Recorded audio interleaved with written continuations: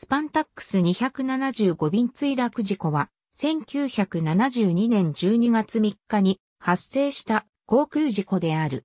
テネリフェノルテ空港発ミュンヘンリーム空港行きだったスパンタックス275便が離陸直後に制御を失い墜落。乗員乗客155人全員が死亡した。事故機のコンベア990から 30A-5 は1962年に初飛行を行った機体で、1972年5月7日にアメリカン航空がスパンタックスへ売却した。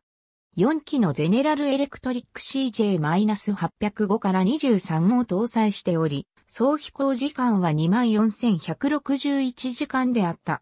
また、この事故は CV-990 として8番目の全損事故であった。275便はチャーター便として運航されており、148人の乗客のほとんどは西ドイツのバイエルン州に住むドイツ人、またはその親戚だった。乗客のうち3人がオーストリア人で、2人がイタリア人だった。乗員は7人で、ドイツ人の客室乗務員1人以外は全員スペイン人だった。275便は、スペインのテネリフェ島から西ドイツのミュンヘンへ向かうチャーター便だった。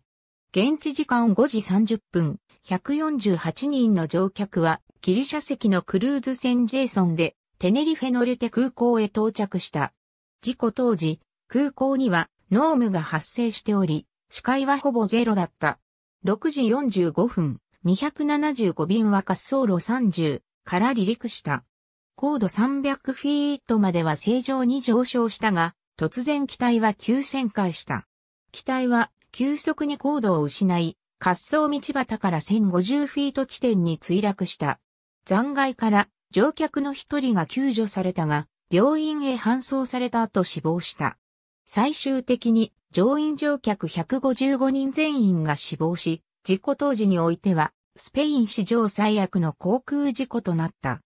2019年現在では、スペイン史上3番目に最悪の航空事故であり、同型機として最悪の事故となっている。また、スパンタックスが起こした事故の中でも死者数が最多である。事故調査はスペインの警察当局主導で行われた。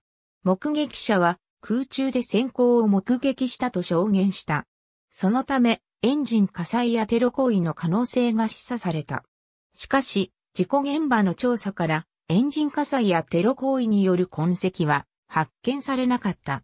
最終的に事故原因はパイロットエラーであるとされた。